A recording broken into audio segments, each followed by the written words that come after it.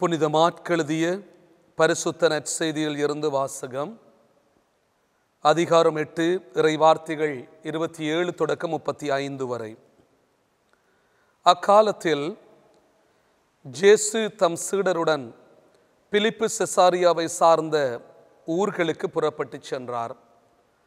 வழியில் அவர் தம் சீடரை நோக்கி நான் யார் என மக்கள் சொல்கிறார்கள் என்று கேட்டார்.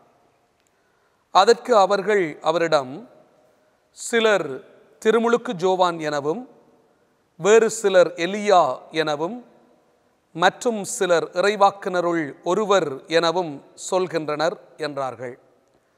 ஆனால் நீங்கள் நான் யார் என சொல்கிறீர்கள்? என்று அவர் அவர்களை கேட்க பேதுரு மறுமொழியாக நீர் மெஸ்ஸியா என்று உரைத்தார். தம்மை பற்றி எவரிடமும் சொல்ல வேண்டாம் என்று அவர்களிடம் அவர் கண்டிப்பாய் கூறினார். மானிட மகன் பலவாறு துன்பப்படவும் மூப்பர்கள் தலைமை குருக்கள் மறைநூல் அறிஞர்கள் ஆகியோரால் உதறி தள்ளப்பட்டு கொலை செய்யப்படவும் மூன்று நாட்களுக்கு பின் உயிர்த்தளவும் வேண்டும் என்று ஜேசு அவர்களுக்கு கற்பிக்க தொடங்கினார். இதையெல்லாம் அவர் வெளிப்படையாகவே சொன்னார். பேதுரு அவரை தனியே அழைத்து கடிந்து கொண்டார். ஆனால் இயேசு தம் சீடர்கள் பக்கம் திரும்பி பார்த்து பேதுருவிடம் என் கண்முன் இல்லாதே சாத்தானே ஏனெனில் நீ கடவுளுக்கு ஏற்றவை பற்றி எண்ணாமல் மனிதருக்கு ஏற்றவை பற்றியே எண்ணுகிறாய் என்று கடிந்து கொண்டார். பின்பு அவர் மக்கள் கூட்டத்தையும் சீடரையும் தம்மிடம் வரவழைத்து என்னை பின்பற்ற விரும்பும் எவரும் தன்னலம் துறந்து தம் சிலுவையை தூக்கி கொண்டு என்னை பின்பற்றட்டும். ஏனெனில் தம் உயிரை காத்துக்கொள்ள விரும்பும் எவரும் அதை இழந்து விடுவார். என் பொருட்டும் நற்செய்தியின் பொருட்டும் தம் உயிரை இழக்கும் எவரும் அதை காத்துக்கொள்வார் என்றார்.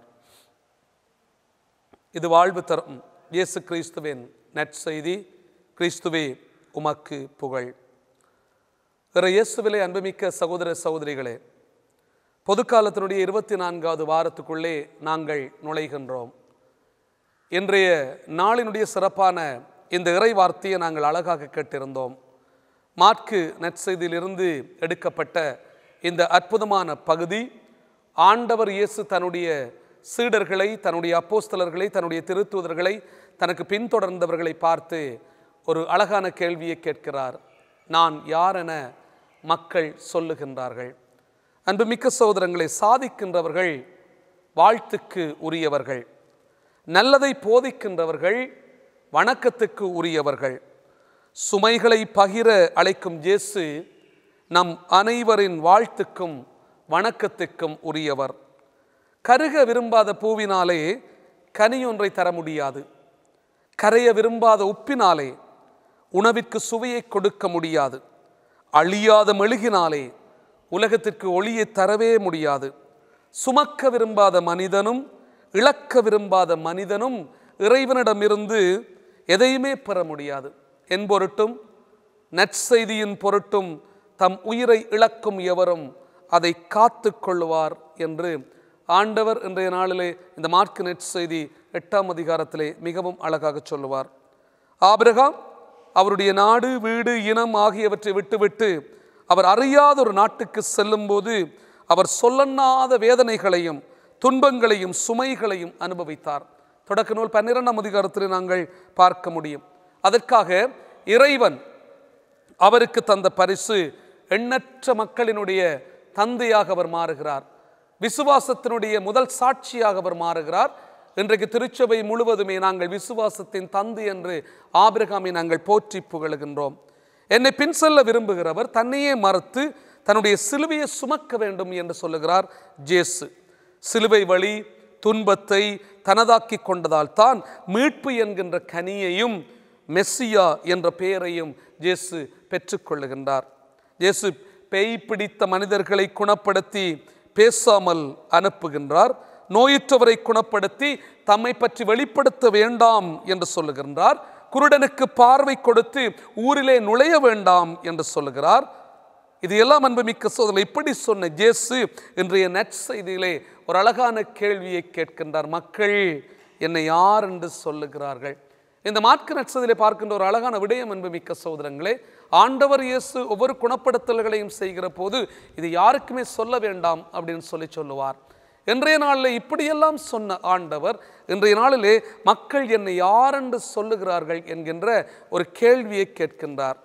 இயேசுவையும் அவருடைய பணிவாழ்வையும் தெளிவாக புரிந்து கொண்ட பேதுரு நீர் மெஸ்ஸியா என்று ஒரே வரியிலே உண்மையை சொல்லுகின்றார். இறைவனின் செயற்பாடுகளை அறிந்து கொள்ள ஆய்வு கூட ஆராய்ச்சிகள் தேவையில்லை என்ப மிக்க சோதரங்களே மாறாக ஆழ்ந்த விசுவாசமே போதும் என்பதை பேதுருவினுடைய பதிவிலிருந்து நாம் அறிந்து கொள்ளலாம். மற்றவர்களினுடைய சோகத்திலும் சோர்விலும் நாம் பங்கெடுக்கும் போது அங்கே இறைவனினுடைய செயல்பாடுகளை நாங்கள் கண்டு கொள்ள முடியும். இன்றைக்கெல்லாம் அன்புமிக்க சோதரங்களே நாங்கள் மற்றவர்களுடைய சோகத்திலே மற்றவருடைய துன்பத்திலே மற்றவருடைய நோயிலே மற்றவருடைய இந்த வேதனையிலே நாங்கள் பங்கெடுக்கின்ற போது அங்கே இறைவனுடைய செயல்பாடுகளை நாங்கள் முன்னிறுத்தி செயல்படுத்தி கொண்டு இருக்கிறோம் என்பதுதான் உண்மை அன்புமிக்க சோதரங்களே இன்றெல்லாம் நாங்கள் பார்க்கின்ற போது ஏராளமான மக்கள் துன்பத்திலே வேதனையிலே கஷ்டத்திலே நோயினுடைய வடுக்களை சுமந்து கொண்டு தீராத நோயினுடைய இந்த தாக்கத்தினாலே வேதனைப்பட்டு கொண்டு உயிர்களை இழந்து உறவுகளை இழந்து இந்த நேரத்திலே கஷ்டப்படுகிற நேரத்திலே இந்த சோர்வை நீக்குவதற்கு அன்பான மொழிகளை கொடுக்கின்ற பிள்ளைகளும் இந்த பிள்ளைகளை நோக்கி தங்களுடைய கைகளை நீட்டுகின்ற கரங்களும் இந்த பிள்ளைகளை நோக்கி நாங்கள் செல்லுகின்ற எங்களுடைய கால்களும் ஜேசுவினுடைய உன்னதமான பணியை எங்களுக்கு முன்னிறுத்தி சென்று கொண்டிருக்கின்றன அன்புமிக்க சோதரங்களே என்பதை இன்றைய நாளிலே நாங்கள் அழகாக புரிந்து கொள்ள முடியும். இந்த மக்களினுடைய இதய சுமைகளிலே நிறைவை தேடியதனால்தான் ஜேசு மெஸ்ஸியாவாகின்றார். வாழ்வழிக்கும் மீட்பராகின்றார். மெஸ்ஸியா பாடுகள் பட்டு தான் மகிமையடைய முடியும் என்பதை உணரும் நாம் அவரனுடைய சுமைகளை பகிர்ந்து கொள்ள பல்வேறு துன்பங்களை சவாலாக சந்திக்க முன்வர வேண்டும். இயேசுவினுடைய போதனைகளை கேட்டு அவருடைய போதனைகளோடு வாழ்ந்த பலர் அன்புமிக்க சோதரங்களே தங்களுடைய வாழ்க்கையை இயேசுவுக்காக அர்ப்பணிக்கின்றார்கள் என்பதை நாங்கள் தெளிவாக புரிந்து கொள்ள முடியும். திருத்தூதர் பணி ஏழாம் அதிகாரத்திலே திருச்சபையிலே முதன் முதலாக மறைசாட்சியாக மறைத்த ஸ்தேவான் என்று சொல்லப்படுகின்ற முடியப்பர் அவரை கல்லால் அறிந்து கொன்று கொண்டிருந்த போது ஆண்டவராகிய இயேசுவே இந்த பாவத்தை இவர்கள் மீது சுமத்தாதையும் என்று சொல்லுவார்.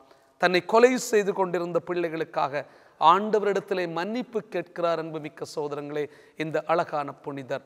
அதுதான் ஜேசுவனுடைய வாழ்வினுடைய துன்பங்களை நாங்கள் தாங்கிச் செல்லுகின்ற போது வல்லமையை நாங்கள் அனுபவித்துக் கொண்டிருப்போம்.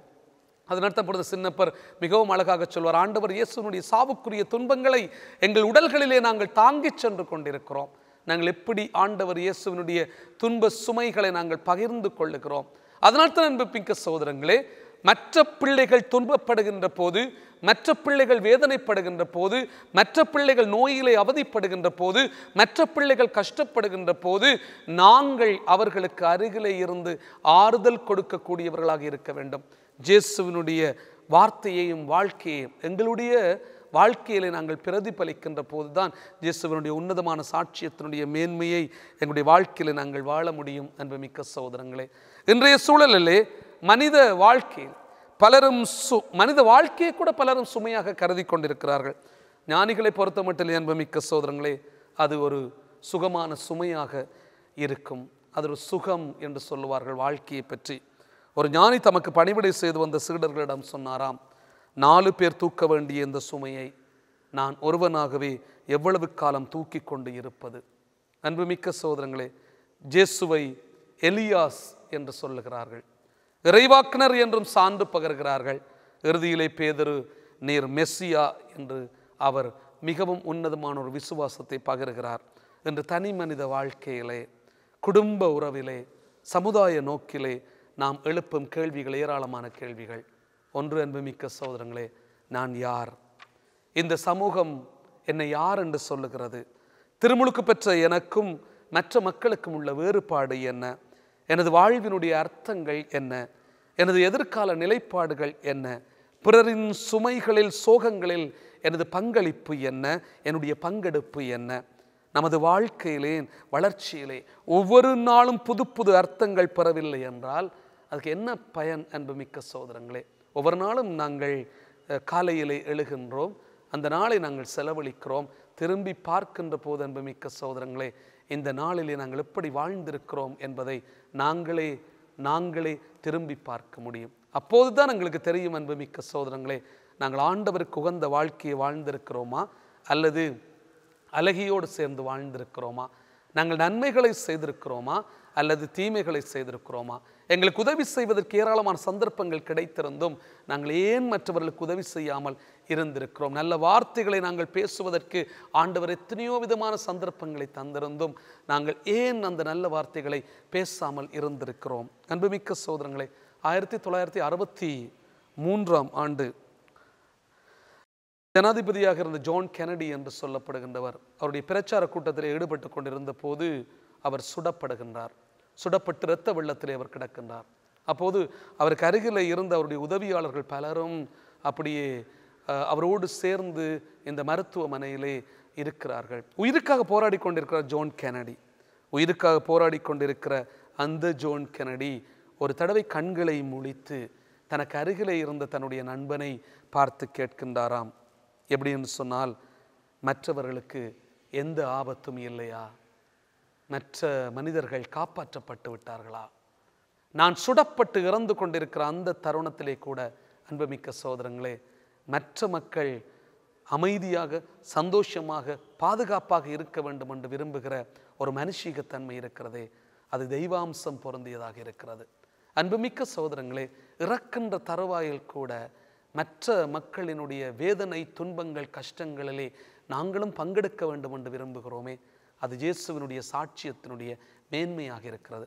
அதனால் தான் லூக்கா நட்சதி இருபத்தி மூன்றாம் அதிகாரம் முப்பத்தி நான்காவது வாக்கியத்திலே ஆண்டவர் இயேசு சிலுவையிலே அறையப்பட்டு கொலை செய்து செய்யப்பட்டு கொண்டிருந்த அந்த கணப்பொழுதிலே ஆண்டவர் இயேசு தந்தையை பார்த்து சொல்வார் தந்தையே இவர்கள் அறியாமல் செய்கிறார்கள் இவர்களை மன்னித்தரலும் என்று கேட்பார். அவருடைய அன்பு பிள்ளைகளாகிய நாங்கள் அன்புமிக்க சகோதரங்களே எங்களுடைய வாழ்க்கையில் எப்படி நாங்கள் இருக்க வேண்டும்? இயேசுவுக்காக என்ன துன்பம் வேதனை கஷ்டத்தை நாங்கள் அனுபவித்தாலும் அவருடைய சாட்சியத்தினுடைய மேன்மையை இந்த உலகத்திலே நாங்கள் வாழுவதற்கு நாங்கள் தலைப்பட வேண்டும். அதற்காகத்தான் அன்புமிக்க சோதனை இந்த உலகத்திலே நாங்கள் பிறந்திருக்கிறோம். ஏதோ நாங்கள் பிறந்தோம் நாங்கள் வாழுகிறோம் வளருகிறோம் இறந்தோம் என்கின்ற ஒரு சாதாரண மனித வாழ்க்கையில் இருந்து ஒரு அசாதாரண மனித வாழ்க்கைக்கு நாங்கள் போவோம். நாங்கள் பிறக்கிறோம் நாங்கள் நன்மைத்தனங்களை செய்கிறோம் நாங்கள் மற்ற மக்களுக்காக எங்களிடம் உள்ளதை கொடுக்கிறோம் நாங்கள் வாழ்வு கொடுக்க வேண்டும் என்று விரும்புகிறோம். நாங்கள் ஆண்டவர் இயேசுவுக்காக இந்த உலகத்திலே சாட்சியத்தினுடைய மேன்மையோடு வாழுகிறோம். மற்ற மனிதர்களுக்காக எதையெல்லாம் செய்ய முடியுமோ நன்மைத்தனத்தின் சிறப்பை நாங்கள் செய்வோம். நாங்கள் இறந்து போகிறோம். அன்புமிக்க சோதரங்களே சாட்சியத்தினுடைய வாழ்வு அப்படியான வாழ்க்கையாகத்தான் இருக்க முடியும். பிறக்கின்ற மனிதன் வளருகின்ற மனிதன் வாழுகின்ற மனிதன் இறந்தான் என்பதை இந்த வரலாறு ஒருபோதுமே சொன்னது கிடையாது அன்புமிக்க சோதரங்களே ஒரு பிறக்கின்ற மனிதன் சாதிக்கின்றான் சாதனையாளனாக மாறுகிறான் மற்ற மக்களுக்காக தன்னை கொடுக்கின்றான் அவன் இறந்து போகிறான் அவனுடைய வரலாறு என்றும் நீடித்த நிலைத்த வரலாறாக இருக்கிறது. எங்கேயோ ஒரு பெத்லகேம் என்று சொல்லப்படுகின்ற இடத்திலே பிறக்கின்ற ஜேசு இரண்டாயிரம் ஆண்டுகளை கடந்து வந்திருக்கிற இந்த உலகத்திலே இன்றும் பேசப்படுகின்ற ஒரு மனிதனாக ஒரு இறைவனாக இருக்கிறார் அப்படின்னு சொல்லி சொன்னால் அவர் தனக்கண்டு வாழவில்லை அன்பு மிக்க சோதரங்களை மற்ற மக்களுக்காக தன்னை முற்று முழுதாக அர்ப்பணிக்கின்றார். தன்னை கொடுக்கின்றார். தியாக பலியாக தன்னை ஒப்பு கொடுக்கிறார் அன்புமிக்க சோதரங்களே இன்றைக்கு நாங்களும் ஒரு சிறப்பான மனிதர்களாக வாழ வேண்டும் அப்படின்னு சொன்னால் எங்களுக்கு எங்கள் மத்தியில் எத்தனையோ தேவைகள் இருக்கின்றன. கொடுக்க முடிந்ததை கொடுப்போம். பகிர முடிந்ததை பகிருவோம். பேச முடிகின்ற நல்ல வார்த்தைகளை பேசுவோம். கொடுக்கின்ற கரங்களை நீட்டி கொடுப்போம் என்புமிக்க சோதரங்களே. இன்று நாங்கள் மற்ற மக்களுக்காக எப்போதுமே வாழ வேண்டும் என்கின்ற அந்த நல்ல உணர்வையும் நாங்கள் இன்றைய நாளிலே பெற்றுக்கொள்வோம் எனவே அன்புமிக்க சோதரங்களே நாங்கள் இயேசுவோடு பயணிப்போம். அவர் சொல்லித் தருகின்ற அற்புதமான இந்த அழகான காரியங்களை எங்களுடைய வாழ்க்கையில் நாங்கள் கொண்டு வாழுவோம். அவர் எதை சொன்னாரோ அதைத்தான் செய்து முடித்தார் அன்புமிக்க சோதரங்களே எனவே நாங்களும் இயேசுனுடைய வார்த்தைகளை சொல்லுவோம். போதிப்பது அன்புமிக்க சோதரங்களே மிகவும் இலகுவான ஒரு காரியம். ஆனால் அந்த போதிப்பதை வாழ்வாக்கி அந்த வாழ்வை வரலாறாக்குவது என்று சொல்லுவது மிகவும் கடினமான ஒரு காரியம். ஆனாலும் இயேசுவுக்காக நாங்கள் வாழ முடியும் என்பதை இன்றைய நாளில் நாங்கள் சிந்திப்போம். எனவே அன்புமிக்க சோதரங்களே ஆண்டவர் ஒரு அழகான நாளை எங்களுக்கு தந்திருந்தார். அந்த நாளினுடைய சிறப்பை நாங்கள் அனுபவிப்பதற்கு அழகான இறைவார்த்தையை தந்திருந்தார். நாங்கள் ஆண்டவர் இயேசுவோடு பயணிப்போம். அவரை மெஸ்ஸியாவாக ஏற்றுக்கொண்டு விட்டு அப்படியே இருப்பதற்கான பிள்ளைகள் அல்ல நாங்கள். அவருடைய மெஸ்ஸியாவின் மேன்மையை பாடுகள் படுகின்ற துன்பத்தினுடைய சிறப்பை நாங்களும் அனுபவித்து மற்ற மனிதர்களை நேசிக்கின்ற பிள்ளைகளாக நாங்களும் வாழுவோம். ஆமேன்.